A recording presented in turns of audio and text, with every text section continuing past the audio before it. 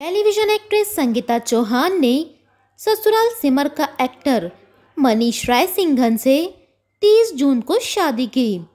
Couple की यह शादी कोरोना काल में हुई है। इसीलिए यह शादी इतनी चर्चा में है। संगीता ने अपनी शादी की कई सारी कैंडिड तस्वीरें इंस्टाग्राम पर शेयर की है। संगीता ने विदाई की कुछ तस्वीरें शेयर करते हुए बड़ा ही फनी कैप्शन दिया है।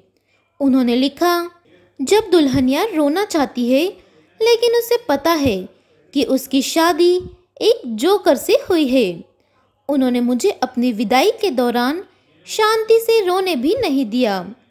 वहीं मनीष ने शादी की जो तस्वीरें शेयर की है, उनमें वे मास्क, सैनिटाइजर तो किसी फ़ोटो में हाथ में तलवार लिए हुए नज़र आ रहे हैं। तस्वीरों के साथ मनीष का कैप्शन भी बड़ा खास है। उन्होंने लिखा एक हाथ में तलवार, दूसरे में सैनिटाइजर और फेस पर मास्क हम इसे क्या कहेंगे? शादी या किडनैपिंग बधाई हो संगीता चौहान, तुम ज़िंदगी भर के लिए किडनैप हो गई हो।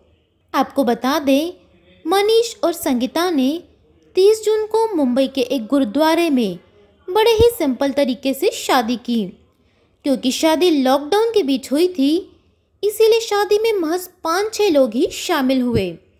शादी के दिन मनीष ने blue jacket, light pink kurta और वाइट पजामा पहना था।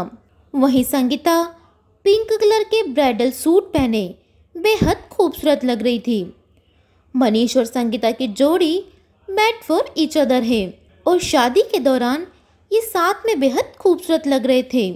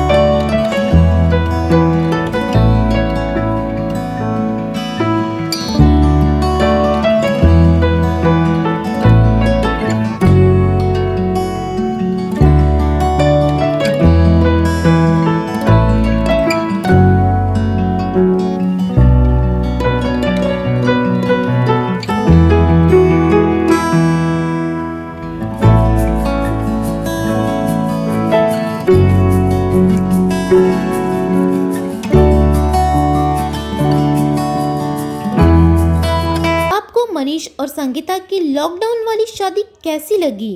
हमें कमेंट बॉक्स में ज़रूर बताइए। तब तक के लिए और भी लेटेस्ट वीडियोस के लिए लाइक करें फॉलो करें।